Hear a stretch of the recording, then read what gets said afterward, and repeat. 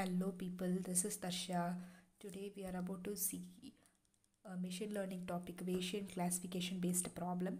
So, in this problem, um, the question is given as banana, the types of fruits, and how the fruit is big, sweet, yellow, and its total. This is the given table in the from the question.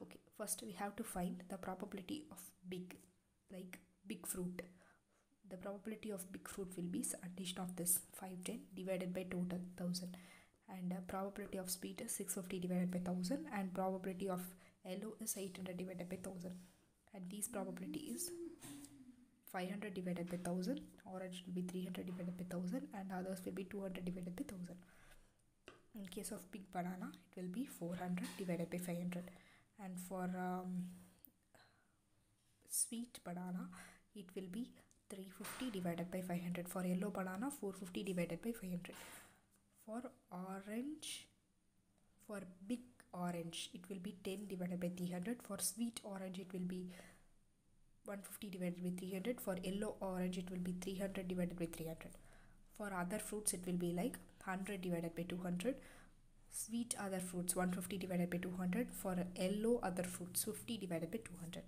so these are the things which are given in this to this. So if we are given a specific problem there it should be banana that includes big banana sweet banana and yellow banana then the problem problem will end like the banana which is big.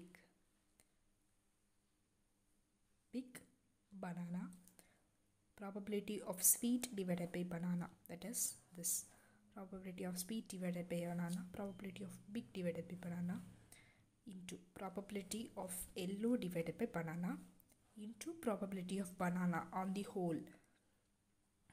500 divided by 1000 divided, divided by probability of big probability of sweet and probability of yellow which we found in the first.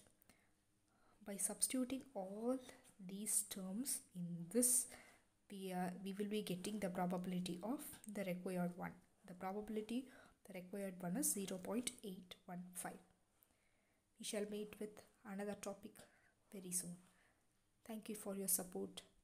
Please like, share and subscribe.